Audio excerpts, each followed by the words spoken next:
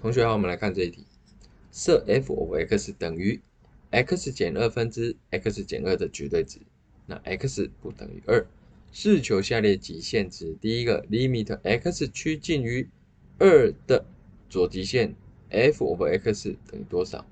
第二个，limit x 趋近于二的右极限 f of x 等于多少？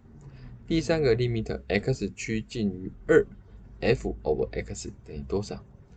好，我们在算这个之前呢，我们先看题目问我们的，第一个是左极限，第二个是右极限，第二个就是 x 趋近于二，所以呢，这个答案等于多少，就是看它们两个有没有相等。好，我们先看到第一题的部分，当 x 小于二且 x 趋近于二，这个意思就是 x 趋近于二的左极限。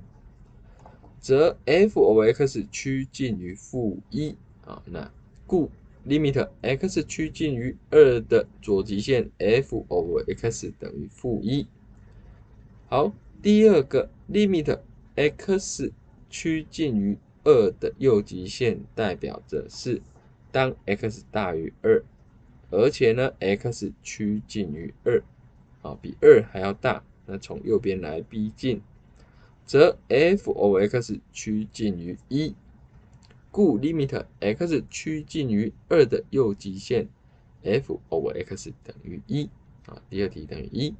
那第三题呢？因为左极限不等于右极限，所以 limit x 趋近于二的 f of x 不存在。